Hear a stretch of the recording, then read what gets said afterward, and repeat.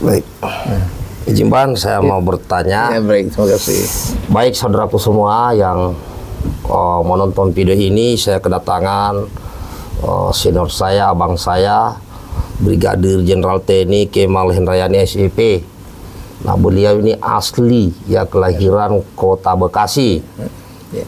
dan beliau dari Partai Gerindra dan beliau juga punya beberapa eh, organisasi. Datang ke sini bincang-bincang.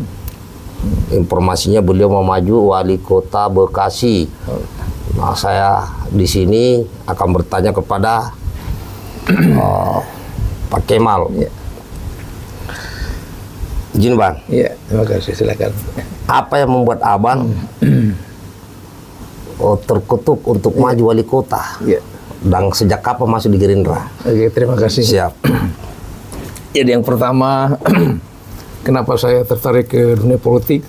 Karena sebenarnya pasca pensiun 2021 saya setelah mengabdi di negara ini 24 ta eh 34 tahun saya pikir sudah cukup lah pengabdian saya di negeri ini. Siap. Tapi kita sebagai posong prajurit pengabdian itu sebenarnya berakhir manakala telinga kita sudah tidak bisa mendengar suara tembakan salvo itulah berakhirnya pengabdian kita. Jadi kalau pensiun usia 58 tahun itu sebenarnya hanya administrasi ya. Administrasi. Setelah pensiun kalau ada bidang pengabdian lain yang bisa kita lakukan, kenapa tidak kan begitu? Siap. Jadi ya dengan seperti itu maka saya selaku eh, war, eh, apa putra daerah putra Bekasi setelah kembali ke kampung halaman saya melihat beberapa keprihatinan ya Puang saya melihat beberapa keprihatinan di kampung saya ini saya sudah bertugas di mana-mana dan saya berkeinginan untuk membangun berkontribusi lah di kampung halaman saya untuk ya paling tidak mem- memajukan kampung halaman ataupun menambah ya eh, meng- mengendorse kampung halaman saya agar lebih maju, lebih sejahtera, lebih humanis, lebih segala macam lah, lebih modern, lebih segalanya ya. Karenanya dengan dengan dasar seperti itu saya berkeinginan untuk terjun di politik. Karena Politik memang- bang ya. Karena memang salah satu jalan ya kita harus berjuang di, di politik dengan kendaraan yang ada kan begitu.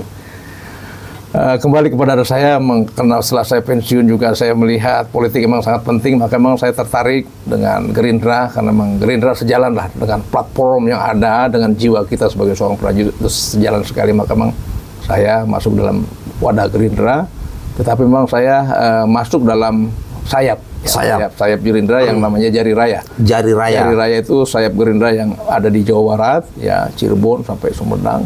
Dan alhamdulillah kemarin kita bisa menopang Sukses suara lah beliau lah. untuk pilpres kemarin ya. Siap. Jadi intinya seperti itu saya ingin mengabdikan diri sebagai seorang prajurit di sisa pengabdian saya ini ya sampai sampai telinga saya tidak bisa mendengar suara tembakan salpo kan gitu. Iya, iya. Kira-kira begitu, Uang.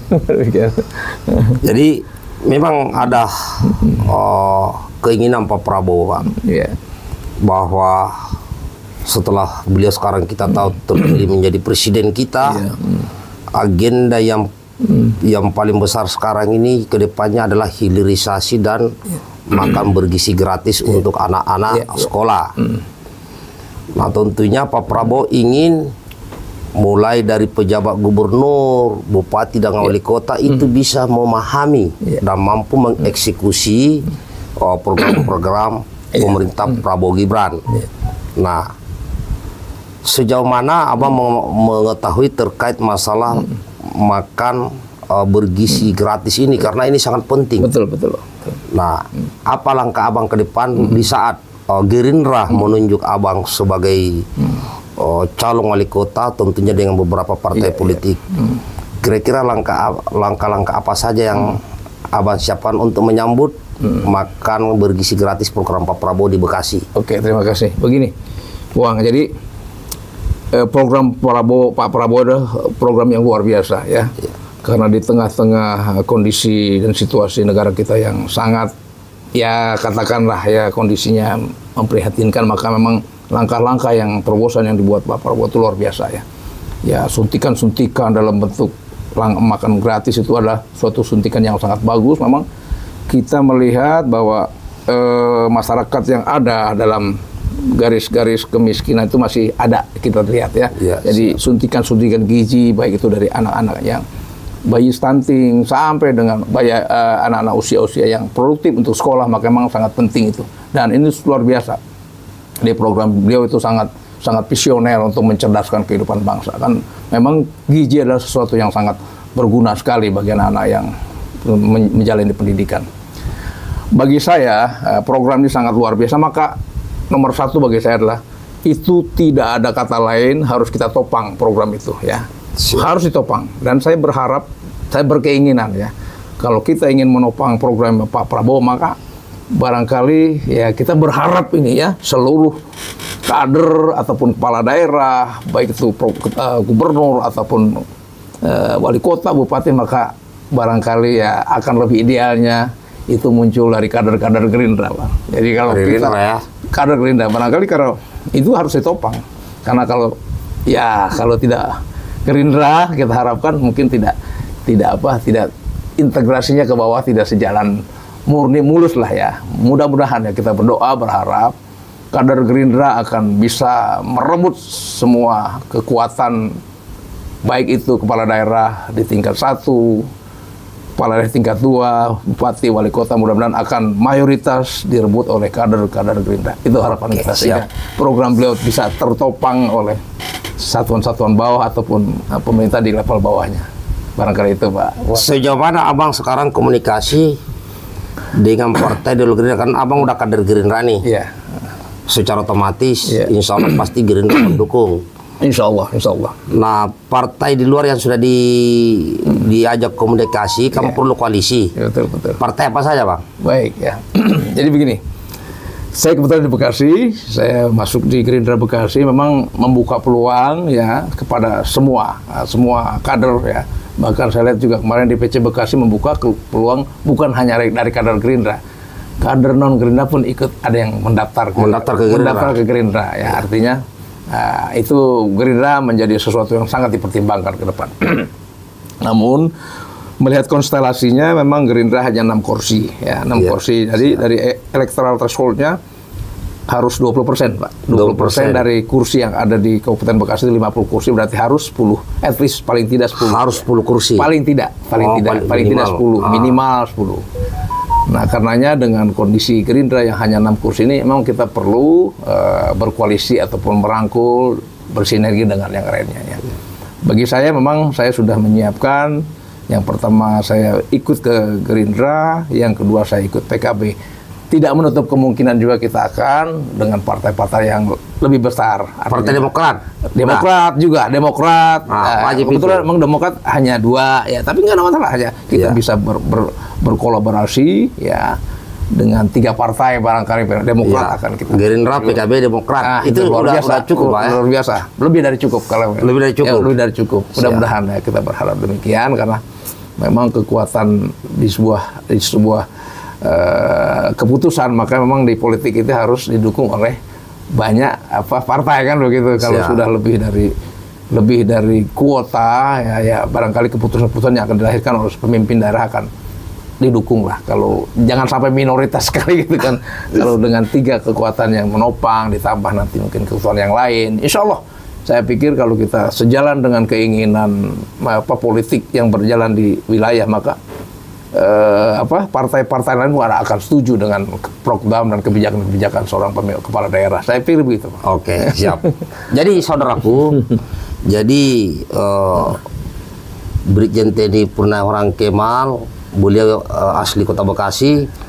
Ya, saya punya keyakinan bahwa Allah. Gerindra akan menunjuk kadernya sendiri. Dan Amin, ini amin, ada Pak amin. Kemal adalah gerin- eh, kader Gerindra. Amin amin amin. Kemudian untuk menambah kursi sudah komunikasi dengan PKB. Semoga juga Demokrat, ikut bergabung. Iya, alhamdulillah. Karena saya di Demokrat, Bang. Saya, ya, kebetulan saya juga pembina Demokrat. Oh, tapi- oh itunya ya. Nah, jadi harapan saya kepada khususnya Kota Bekasi yang kemarin memenangkan pasangan Prabowo Gibran, ya yang ingin melanjutkan eh, merasakan cita-cita dan program Pak Prabowo, baik itu hilirisasi, industrialisasi, bahkan untuk makan eh, bergizi gratis, Iya. maka angkatlah pemimpin yang bisa menjalankan program-program Pak Prabowo. Amin. Nah, salah satu di antaranya adalah uh, Brigjen TNI Purnawirawan Kemal yang memang asli kota Bekasi. Asli Bekasi. Ya, dan kita sudah tahu alasannya kenapa beliau maju, yaitu ingin berbuat yang terbaik untuk Kampung uh, halaman. kampung halamannya. Nah, yang mudah-mudahan Gerindra tidak ada calon lain, Amin, amin, amin, amin. ya kan? Insya Allah Amin, amin. Demokrat gabung lah, Amin, amin. Demokrat gabung, Amin, amin, ya kan? Tahu seirama Iya, ini. Iya, betul, Pak. Karena bagaimanapun kalau di pikiran saya, Ketua Umum Partai Demokrat Mas Ahaye Iya. adalah salah satu pemuda calon ke, calon ya penerus kepemimpinan nasional Pak Prabowo. Iya. Ah, itu Ahaye. Makanya saya di Demokrat, Bang. Alhamdulillah, terima kasih. Nah, jadi jalan kita. Ya, sejalan lah Bang kan. Amin, amin. Sama visi misinya. Visi misinya. Jadi uh, semoga Abang lolos masuk verifikasi KPU Amin, amin. dan warga Bekasi mencoblos Abang untuk menjadi wali kota. Amin, terima kasih. Amin. warga. Amin. Mungkin ada uh, himbauan atau harapan untuk uh, kota warga Beka, warga kota Bekasi, Bang. Iya. Silakan dikasih Terima masukan. kasih ya. Eh, saudaraku sekalian, warga Bekasi, saya memang asli putra dari Bekasi, ya dengan niat dan nawa itu saya untuk eh, ibadah, ya. Eh, dan terjun di dunia politik. Sekali lagi dengan niat ibadah saya ikhlaskan jiwa raga saya, saya wa- wakafkan hibahkan jiwa raga saya untuk kepentingan kemajuan masyarakat Kota Bekasi. Semoga Tuhan eh, meridhoi apa yang menjadi cita-cita kita dan membuka kemudahan jalan bagi kita semua. Terima kasih. Assalamualaikum warahmatullahi Waalaikumsalam warahmatullahi wabarakatuh. Satu lagi, Bang. Abang Ya. punya apa? Pondok pesantren atau apa? Ada, insya Allah. Ya saya punya pondok pesantren. Ya alhamdulillah istrinya hanya anak yatim. Anak yatim. Itu adalah salah buat bentuk eh, kontribusi saya kepada kepedulian saya lah kepada em, kepentingan sosial karena saya pikir banyak anak-anak yatim, anak-anak yang tidak terwadahi, tidak punya ibu bapak, ya saya ambil. Ya, Ah. Salah satu langkah-langkah saya untuk berkontribusi dalam dalam dunia Sejak sosial. 2021 itu, kan? Sejak 2021. Jadi beliau juga punya kayak eh, yayasan ya, Iya. pondok pesantren Iya. untuk anak yatim piatu selama ini. Itu saja, tetap semangat Eh, menuju Indonesia emas. Dibutuhkan pemimpin yang eh, tangguh, Amin. Eh, pemimpin yang ikhlas, Amin. dan untuk meng- mengeksekusi semua kebijakan Pak Prabowo Gibran, maka dibutuhkan pemimpin di daerah, baik gubernur, bupati, dan wali kota yang connect dengan Pak Prabowo selaku presiden. Amin. Amin. Terima kasih. Assalamualaikum warahmatullahi wabarakatuh.